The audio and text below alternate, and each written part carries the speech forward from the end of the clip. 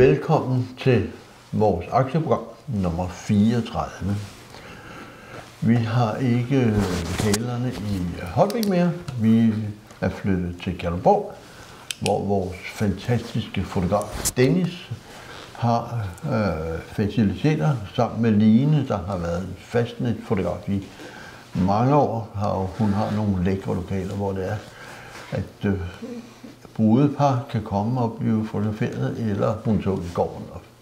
Så billedet, der er mange forældre, der kommer med deres nyfødte, og øh, få taget nogle billeder her hos Line. Nå, men det var bare så, vi har i fortæller lige, at vi ser anderledes ud i dag. Der er noget andet lys, som Mathilde er vildt begejstret for. Og det er vi ikke. Vi føler, at vi bliver generet på det grund. Vi kan næsten ikke sige noget, Flemming. Vi har vendt os til det. okay, godt. Øhm, 1. januar, der var jeg inde og kigge på alle mine Nordnet-aktier, og øh, det var jo meget røde tal, rødt, rødt, rødt, rødt. Øh, og øh, Flemming har også været ude for, at øh, det har set rødt ud hos ham. Øh, og så har du gjort noget, som jeg ikke kunne drømme om at gøre. Øh, du har sådan alle de aktier, der var i rygt. Hvorfor? Ja, nu, øh, nu er det sådan, at øh, jeg har også øh, Nordnet der, og øh, de, de, har, altså, de er ikke faldet så meget. De er måske faldet fra omkring, nu siger jeg fra 90.000 til 78.000. Altså, det var ikke så galt. Det var, jeg kunne godt acceptere, ikke? men jeg har heller ikke mere end 100 i dem. Men, øh, men hvis vi tog sådan noget som Jyske Bank, hvor jeg har en halv million, der, der var de alle sammen, når de lige kom over nytår, så startede de med at være øh, ultimo der, og når de så kom over nytår, så hedder det primo. Det er sådan set de samme tal. Og fra derfra, så gik det rent faktisk ned i et sort hul. Jeg tror, jeg var helt op på 123.000 i, i fald øh, på de der halv million. Og i Sydbank var det også helt af helvede til. Men øh, der, hvor jeg rigtig havde det sjovt, det var over i Saxo Bank, fordi der kan du købe og sælge, uden det er ret dyrt. Altså, du kan købe aktier for europæerne for øh, 3 euro, og amerikanske aktier for 3 dollar. Og ellers så koster danske aktier 14 kroner. Det er meget, meget billigere end alle de andre. Og der gjorde jeg simpelthen det, at jeg sad bare og se, hvad har du givet for dem dengang, og hvad står de nu? Og lige snart det gik i rødt, så solgte jeg mig og købte noget andet. Og det har jeg ligget og rodet rundt med hele tiden, og jeg har rent faktisk været på 130.000, da året begyndte. Og nu ligger jeg på 110, så jeg har kun sat 20 ned. Og jeg må ærligt indrømme, at jeg har jo kommet over i nogle amerikanske, og jeg er også over i nogle tyske, og jeg kom til at købe, for efter ham Putin, så jeg kom til at købe nogle krigsaktier. Det kaldte jeg dem i gamle dage. Jeg vil ikke have noget med det at gøre, men i dag kalder jeg dem forsvarsaktier. Og de her regnmetal. Jeg har også købt i Saab i Sverige, de lavede flymaskiner i gamle dage. Og så nogle aktier, de stiger altså utrolig meget, fordi der skal meget til at banke ham ned over på den anden side der. Og, og, og han bliver jo ved med med sig frem. Så jeg vil ikke sige, at folk skal gøre sådan noget, men, men, men, men jeg har også været enig i sådan noget som mine aktier, og de her op og ned. Så jeg vil sige, at det er svært. Det er også svært for mig, altså. Men vil det sige, at du har solgt, fordi når du kommer, så siger du, åh, i denne uge har jeg tjent 130.000, og i mm, næste uge siger du, åh, jeg har tjent, øh, mistet 130.000. Øh, men du har først mistet, når du har solgt dem. Ja, præcis. Har du rent fysisk solgt dem, så du har sat penge til? Ja, jeg, jeg har simpelthen, jeg har på et tidspunkt været så meget i panik, at jeg simpelthen sagde, hvad gør jeg nu, hvad gør jeg nu? Og så kørte jeg simpelthen en masse af dem, jeg ikke, som jeg efterhånden ikke stole mere på. Dem kørte jeg over i banker, fordi bankerne er altså nogenlunde, øh, hvad vil det på de her to-tre måneder, de er så nogen, nogenlunde stået der.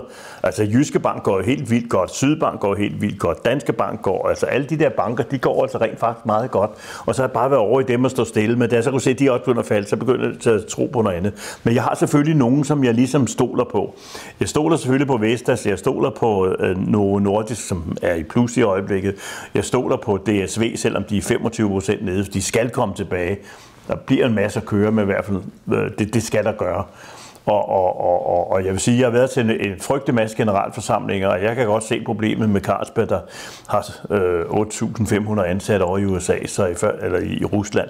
Men i første omgang så sagde de, at vi, vi tager det lige med ro, men nu har de taget beslutning om at sælge det, og det kommer til at koste dem penge. Ja, men spørgsmålet er, om ikke det gør det, hvis de ikke gør det, fordi så siger folk, at vi skal slet ikke have Præcis, og det var også det, der var argumentationen, at, at efter 14 dage havde de tænkt sig om, og så kom det frem, at uh, Henrik Poulsen, som er blevet den nye formand hos Carlsberg der, uh, han, som var for Ørsted før, og TDC og sådan noget. Jeg tror, han har fået indflydelse og sagt, at det her det kan komme til at koste. Pludselig har vi måske ikke Roskilde Festivalen, vi har måske ikke parken mere, vi har ikke nogen store stadioner over i England og så videre. Men vi vil ikke købe jeres øl, for grund af, I er der. Så det har været begrundelsen. Ja. Men så kan du se sådan noget som de der skofirmaer, de, de er jo stadig med 150 butikker i, i Rusland, og der er ingen, der vil købe deres sko. Altså det, jeg ved ikke, hvad, hvad skal man gøre?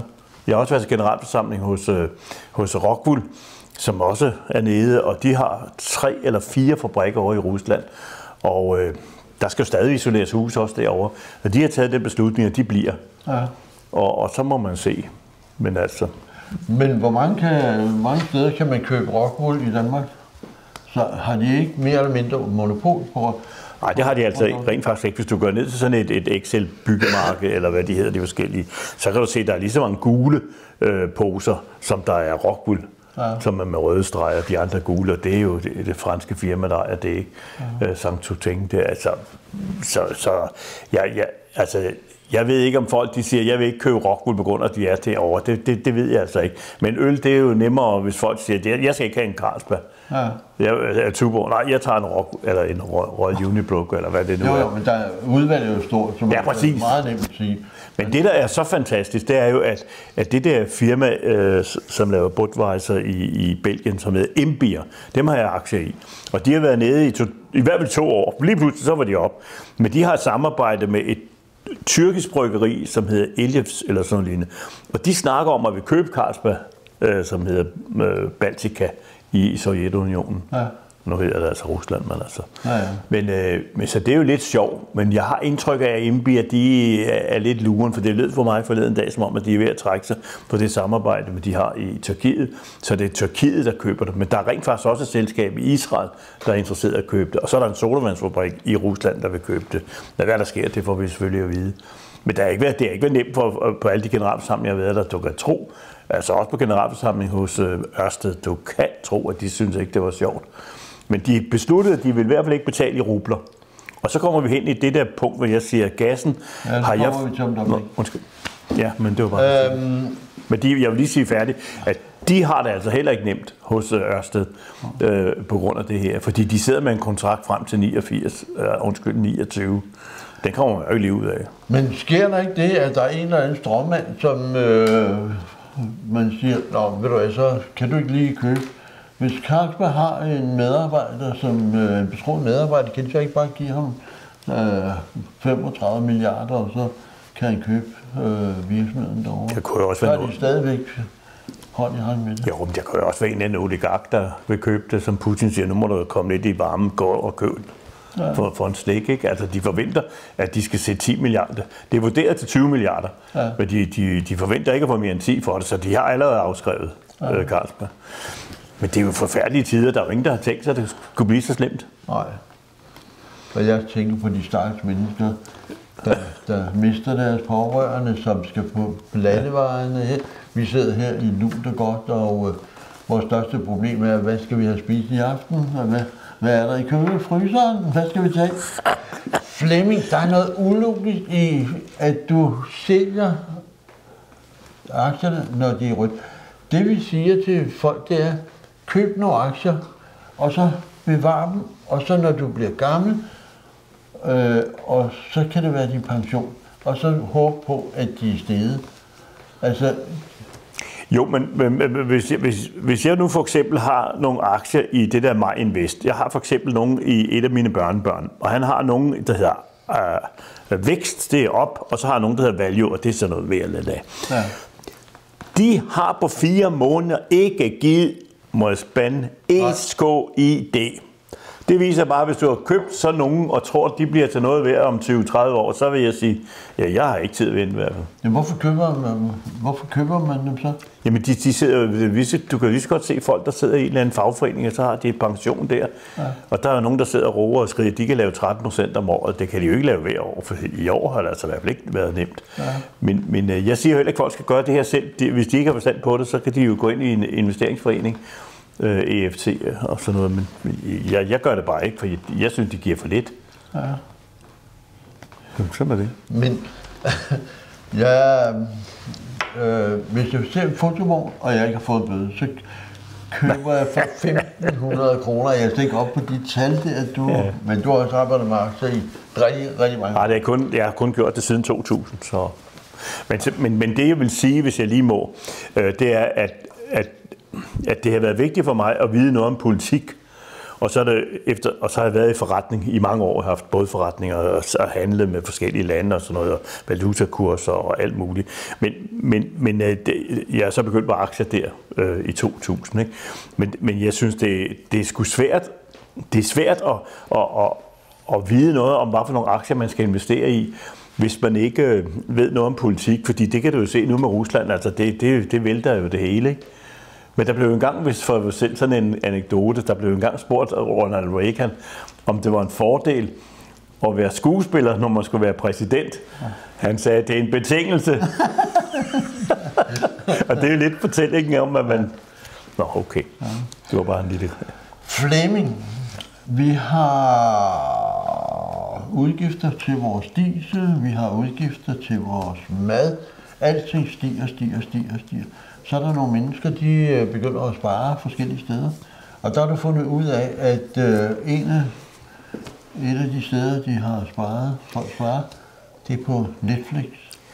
Ja, der sker, der, der sker, hvis jeg tager brillerne på, så står der altså her, at det er en ændring siden den 17. 11. 21 på 67,3 procent, at den altså faldet. Og alene i år var den altså faldet 35 procent, det står der deroppe. Men et, en af årsagerne er, at der er 200.000, som har meldt sig af, fordi de ikke har råd. Hvad er det Netflix er for noget? Det er sådan noget streamingstjeneste, hvor du går ind og ser alle mulige garanteret for vores sædefotograf, hun ved bedre end mig. Men altså, det er noget, man vil gå ind og se en masse serier, og det betaler man for. Ja. Og, og når jeg hører mine børnebørn, de ser aldrig rigtig fjernsyn, de ser bare sådan streamingtjeneste. Der er flere end Netflix, men de er de største. Men de havde en anden stor en, fordi der var 200.000, som øh, holdt op med at betale, men så var der altså øh, 700.000 i Rusland, som de så lige pludselig tabte, fordi de måtte ikke handle med dem. Og så er det jo klart, at så går kurven jo ned. Ikke? Men jeg har aldrig kunne forstå det, fordi jeg ser det ikke. Altså, men det gør altså unge mennesker. Så, så, så sådan noget, det, det er... Altså, hvis det er sådan, at du skal have mad, som du siger, du skal have brændstof for at køre, Altså bare som hun sagde, uh, Ulla Terkelsen, i den der udsendelse i søndags med det franske valg, der bor altså folk op i Nordfrankrig, hvor, hvor den by, de har været i, der er ikke noget industri mere, hvad der så har været før, det ved jeg ikke. De bor i et hus, de ikke kan sælge. Øh, de skal, den ene kører 67 km den ene vej for at være på en tankstation for at tjene nogle penge. Den anden kører øh, 70 km den modsatte vej. De skal have to biler. De bliver nødt til at køre langt for bare at have et job. De kan stadig ikke sælge deres hus. De skal jo leve. Hvad gør de? Spare, spare, spare, spare. Præcis, det, det, ja. det er jo det, jeg mener. Ja. De skal jo have mad jo. Ja. Og, og hvis du selv ser fjernsyn, så er der jo mange, der siger, jamen så begynder de at... Øh, jeg var for eksempel til generalforsamling i Brusen i går, og Brusen er jo en dyre forretning end øh, de andre. Jeg kan godt nævne dem, du ved det, de ligger jo herude af vejen jo. Men det er jo Rema 1000, og det kan være øh, Netto, og det kan være alle mulige andre. Men det er jo derhen, folk går hen og handler, øh, fordi det er billigere. Ja. Og, og jeg har det sådan, at øh, da jeg altid har haft øh, sådan priser for både ind i hovedet, i hovedet, jeg ved, hvad de koster, så efter at min kone er dement, så er det mig, der handler. Så jeg, jeg kan huske priserne, når jeg går ind i en købmandsbutik. Så jeg kan huske, at jeg var engang i en brus i, i, i Kirke Valsø. Jeg gik ind i brusen med en vogn, og jeg gik ud igen og stillede vognen. Der var intet, der var billigt i forhold til de priser, jeg havde inde i hovedet. Og det var de samme varer jo. Det er jo det, der er forfærdeligt. Men der siger de hos Brugsen, at det er fordi, vi har en kødafdeling, der står slagter, de skal have en stor løn. Vi har en bagerafdeling, og de har mange ansat. Så derfor bliver hele omkostningsniveauet i en almindelig brugs med, med alle de faciliteter, vi gerne vil have, øh, det bliver, det bliver lagt på alle varerne. Men det har de jo ikke, hvis du går hen til en Rema 1000. Der står jo ikke en slagter, der skærer kødet ud, vel? Og der står jo ikke en bager, de har jo et dårligt brød, altså andet noget, der man kan lukke nogle skaber op. Og det gør, at de kan spare en masse penge, og derfor er det billigere. Det, det er forklaringen. Men så får de jo også, altså når man kan købe en pakke smør, der koster 21, 22, 24 kroner, når man kan købe den for en tiger, og nogle steder... På 6,95 har jeg set Ja, det. 6,95. Så går man derhen og køber. Ja. Og men så køber man også andre varer. Det skal du ikke glemme jo. Men det må jo være, fordi dem, der har produceret det, de har en lager. Øh, det kan være, at de plejer at levere til Rusland, og lige pludselig kan de ikke gøre det mere. Så er de nødt til at... Øh, det er billigt at sælge det til supermarkederne for 2 kroner, og så kommer der moms på, og så videre, så videre. Ham jeg kender rigtig godt, det, nu hedder han Anders, og er en Rema 1000 i Vemedrup, og der har jeg handlet rigtig meget, det gør jeg stadigvæk selvfølgelig. Han siger, at, øh, at de priser bliver dikteret for, for Rema 1000. Ja, det er klart, fordi det gælder hele landet. Ja, bum. Så ja. de kører altså 6,95 eller 10 kroner. Eller. Ja, ja. Men så gør Netto det samme. Men jeg, han siger bare, at jeg tjener bare ikke nogen penge på det. Jeg må, øh, du sætter vel ikke til, nej, det, er sådan- det, øh, det vil jeg ikke ud med, men jeg kunne da rimelig høre på ham, at han tjener i hvert fald ikke. På de varer, der er sat helt ned, det tjener han ikke på. Jo, men, men hvis, de har, hvis de er dygtige nok, så går du ind efter en pakke smør til 6,95, og du går ud med, med et øh, glas kavers til 32,95. Så har du altså tjent nogle penge på kavers Ja. og på kunden. Men det her system har jo været der altid hos købmænd, ikke? Altså Ja, de ja. her tilbud. Ja, der er ikke noget nyt i det. Nej, nej, overhovedet ikke. Men det er jo bare, når folk ikke har så mange penge, fordi benzinen er blevet dyre, gasregninger er blevet dyre. Og, altså, jeg kan sige, hvi- hvis bare, at det er ikke fordi, jeg har et kæmpe, men min gasregning, den steg derhjemme fra, jeg tror, 2300 til 4300. Og så ringede jeg og sagde, så stopper festen. Ja. Jamen, jeg kan ikke komme ud af det. Det kan du fandme tro, jeg kan. Ellers ringer jeg til min advokat. Jeg kom ud, fordi jeg havde et halvt års opsigelse. Jeg, kom, jeg er kommet ud nu. Ja. Og, og, og, og så ringer de simpelthen for nogle andre, altså det der Invita. Så hvis du bare tog sådan en lille hus, jeg har på 140 kvadratmeter. Invita, det er dem, der har alle gasrørene i Danmark. De tager cirka 2.000 i kvartalet. Det vil sige, det er de første, det var, det var 10.000. Så kommer gasregningen af 43. Inden du er færdig med det, så har du brugt 30.000 på det. Og fordi jeg har solceller og vand til luft og andre pumper, jamen så kommer jeg til at spare 30.000. Det er jo mange penge. Og de seje mennesker, der er meget apropos, ikke kan komme ud af gas. Ja. Aftalen, Ja, ja. det ved du noget Ja, det, ved jeg, det kan jeg godt. Det er ikke, ja. det er ikke nemt. De kommer bare til at betale. Ja. Og så er det jo klart, så må de jo spare nogle andre steder. Og jeg, jeg synes, jeg har læst, eller hørt i, i fjernsynet, at der er mange, der siger, at de får ikke råd til de der ferier. Det bliver en tur i bilen til Hartsen, nu siger jeg et eller andet, eller en tur til Norge. Det bliver noget i en bil, noget, hvor man kører sammen. Ikke noget op i en flyver, ikke noget med dit og datten. Og dem, der har masser, eller dem, der har flere penge og gode pensioner, de rejser selvfølgelig. Det kan jeg høre på mine naboer. Og de andre, de bliver hjemme. Altså, Brageturs har ture og har rejser, 8 dages rejser, der er billigere end en benzintur til Til Hartsen, ja. Så altså, Ja, ja, jeg ved godt, hvad du siger. ikke, Men det er jo stadigvæk, hvis du har, øh, lad os sige, du har to-tre børn, og, og, og I er fem mennesker, så når, når de nu kommer derned, så bliver der altså brugt nogle penge. Ja. Så det er ikke sikkert, at du kan klare dig for de der 10.000 for selve rejsen, fordi det koster også noget at være der. Ja. Altså, sådan er det. Men, men, men, det, jeg synes, der var sjovt, det var, at jeg kan huske, min, min store søn sagde, og nu er det mange år siden, det er ligegyldigt, nu rejste de til øh, Valdiverne, Maldiverne, eller sådan langt derned, ikke? der er rigtig langt, ikke? Og det havde de brugt 100.000. Altså, man skal tjene mange penge i dag, hvis man vil bruge 100.000 på en ferie. Det gør han så heller ikke i dag. Det kan jeg så godt høre på ham. Ikke? Så jeg tror, at folk de sparer på ferier, og så sparer de selvfølgelig på, prøv at spare på maden. Og så skruer de måske lidt ned, men hvem fanden vil gå og fryse, og hvem vil gå i koldt bad? Jeg, jeg kan ikke. Jamen, der er det unge mennesker, der siger, at jeg har pillet pæren ud, fordi jeg har ikke råd til at betale det. Ja. Men der, noget helt andet er med gassen. Der har de jo snakket om, at øh, der er ikke gas i... Øh, der er lande, der har, det, hvor de har saboteret. Ja, det, det stod i går aftes øh, på den der nede under i, i, på News, der stod, at, at øh, Gazprom havde lukket for gassen øh, til Polen og Rumænien, ja. fordi de ikke vil betale i rubel. Ja. Men det har, de, det har Ørsted jo også sagt. Men jeg tror ikke, jeg, jeg tror ikke Putin han lukker for Tyskland, fordi øh, hvor, det er det eneste sted, han tjener penge jo. Altså kul må han ikke sælge mere. De må ikke gå i danske og europæiske havne med kul. De har olie tilbage nu og gas. Så hvis han lukker for det, så har han jo slet ingen penge. Hvor fanden skulle de så tjene dem hen? Der var en øh, øh, båd på vej til øh, Norge med gas, som øh, Greenpeace prøvede på at, at stoppe. spærre. Ja, det var Så rigtigt. der kommer jo stadigvæk gas Ja, nu var der olie, tror jeg. eller olie. Ja, ja. Men, men, men, men olie er jo heller ikke stoppet. Nej. Og hvorfor er det ikke det? Ja, fordi de kan ikke undvære det i Tyskland jo. Nej. Men tyskerne skulle jo levere, nu, nu er det politik, tyskerne skulle jo levere noget materiale til øh, Ukraine, og det har de ikke fået gjort. Jamen, det gør de fandme nu. Det? Ja, de har lige sagt i går, øh, at der har været stor møde nede på Reimsteins. øh, øh, Det er en kæmpe base nede ved Tyskland. Og der har alle de europæiske og amerikanske øh, hvad hedder det, forsvarsminister mødtes. Og der blev de altså presset, så de sender altså øh, våben, altså øh, mandskabsvogne afsted med raketudstyr, som kan skyde både til luft og til ned. Ja. Og, og, hvis, og hvis du så den udsendelse, der var i går med øh, også på News, hvor, hvor de siger, hvordan kommer de her ukrainer rundt? Jamen, de kører rundt i deres private ladager. Ja. Så bliver de sendt derhen eller derhen. Det er jo ikke sådan nogle pansrede man- mandskabsvogne. De kører bare...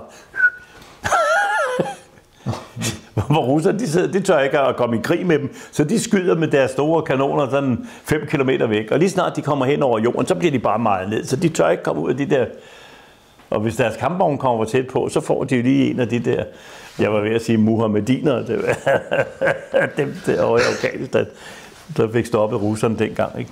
Men altså det, jeg stadig synes er sjovt, det er, hvis man tænker tilbage og siger, at de, Sovjetunionen, de var inde i Afghanistan og blev banket tilbage, fordi de der afghanere, de havde fået en masse våben af USA. Jamen, så de, altså, hvis man gik helt tilbage, så er det jo startet med at gå i Ungarn i 56, Tjekkiet i 68, der i 89 Afghanistan, ikke? så har de været til Tjetjenien i også i 89, så vidt jeg husker, og så var de altså i Georgien her i 6-7, og så tog de Krim her i, i, i 14. Så de, de har jo været der hele tiden, og de, de vil jo bare... Altså det svarer lidt til, at vi andre vil være Sverige tilbage. Den går jo ikke. Nej, og slet, Det er ikke, jo det. og slet ikke efter, de har lavet højre kørsel. Hvor, Nej, så hvis når hvad er jeg... det, du har skrevet? Det har jeg bare skrevet, hvor skal vi hen? Ja, og hvor skal vi hen? Jamen, hvis vi snakker om aktier, så vil jeg sige, så er det altså svært. Men, men man kan jo tage nogle af alle de gode. Novo Nordisk for eksempel. Ja. Og man kunne jo også have nogle banker, der ser jo godt ud for både Jyske Bank og Ringkøbing Landbobank og Sydbank. Og det, det, dem, de, de, de, de er de eneste, der er i plus i øjeblikket der. Og hvordan kan det være? Er det fordi Sparekassen Sjælland for eksempel, de øh, tager rigtig mange penge, hvis du har øh, nogle penge stående. Du betaler et kvartalsgebyr, du betaler et månedsgebyr, øh, og det gør de formentlig alle sammen. Nej, det gør de altså ikke. Nå, okay. Jeg kan sige, at hos Sydbank, der ville de pludselig, fordi jeg ikke havde min løn- lønkonto der, eller pensionskonto, så ville de pludselig have 50 kroner om måneden, fordi jeg havde for 120.000 kroner aktier i det depot der. Så det har jeg så flyttet nu. Så, så, så pludselig kom Jyske Bank på min erhvervskonto, og jeg har jo et erhverv også jo, øh, og de ville pludselig have 400 kroner i kvartalet, for jeg havde det. Så sagde jeg den op.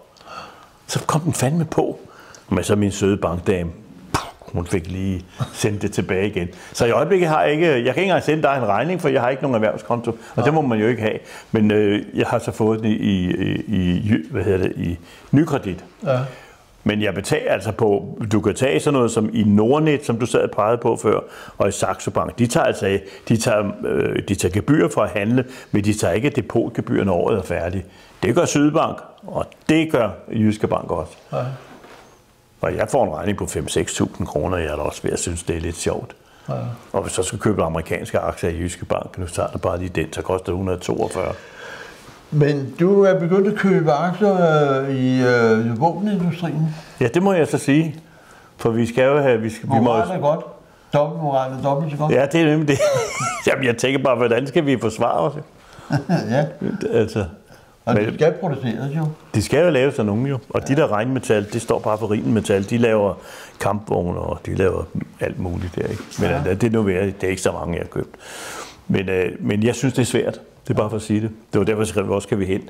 Og, og, og jeg tænker mere på, øh, øh, for det blev du ikke færdig med før. Hvis de stopper gassen for de to lande, så, fordi de ikke betalte i rubler, så, så vi andre, resten af landene har jo også sagt, det vil ikke.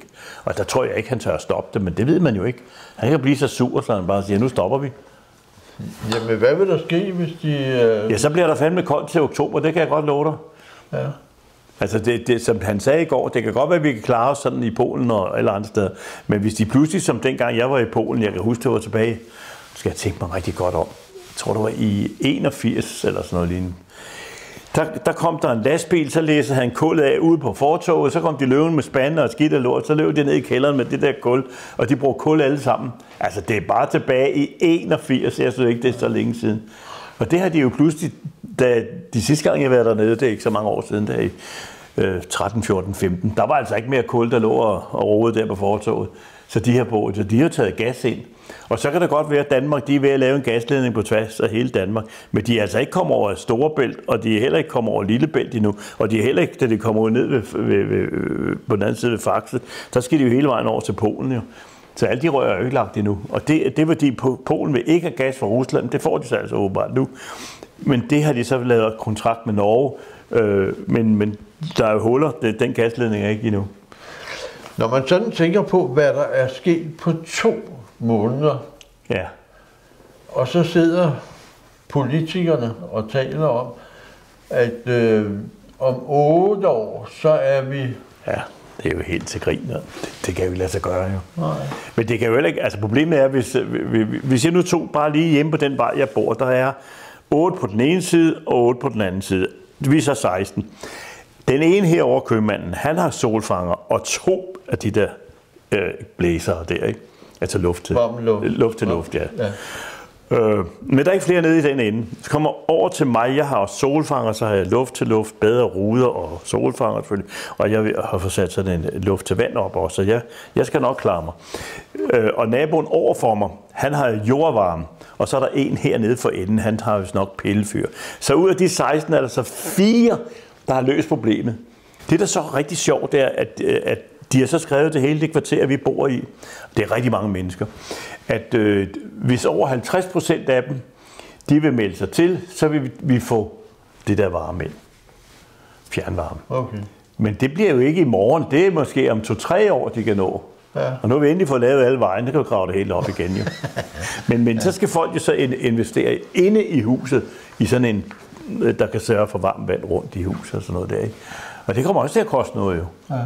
Men det, der er rigtig sjovt nede i Køge, det er, at de siger godt nok, at det er at det der, der er sådan en stor træværk dernede i, Køge, hvor de øh, laver junker, hedder det, der laver paketgulv, og der kommer en masse træ løs, og det brænder de sig af og laver til, til fjernvarme. Men det passer bare ikke helt, for oppe i Lille Skensved, der ligger der et, noget, der hedder Københavns Pektinfabrik. Det er sådan noget, man putter ned i yoghurt og i, i syltetøj og sådan noget, for at, at gøre det sådan lidt mere anderledes, mere tykt i det. Ikke? Jamen, de kører gas. I alle de 51 år, jeg har boet dernede, der står gassen bare op. Øh, Jeg ved ikke, om de har tænkt sig at lave det om. Og de bruger 35 procent af den øh, varme, der kommer i Køge Kommune, den kommer op for, for det der gasværk, som det får de garanteret over fra Putin eller et eller andet sted. Så, så, så jeg ved ikke, hvor meget grøn energi der er i det, men det, så kalder de det jo. Ja. Men jeg ved heller ikke, hvad de, de store fabrikker gør, for de kan jo heller ikke blive ved med at regne med det gas. Men jeg vil så sige, at for næste år, så åbner Total jo så for gassen ude i Nordsøen. Og hvorfor de har stoppet, det er fordi, at når man suger alt det gas og olie ud, så har hele bunden, den er sunket. Så hele det tårn, der står på, det er jo så sunket 5 meter ned. Og nu er det ved at få for, forlænge det. Så det er jo ikke kun dem, der holder det, der skal forlænges. Det er jo også alle rørene jo. Og de skulle have været færdige i år, men på grund af corona, så kunne de ikke få medarbejdere til at lave det. Så de er først færdige til 23. Så på 23 har vi rigelig gas i Danmark. Det kommer så til at være fordeling i hele Europa. Så det kan tjene mange penge på for den tid. Puh, hold da op. Der er nok at se til, og nok at tænke på, og nok at træffe beslutninger om. Godt, man ikke er politiker. Tak for nu.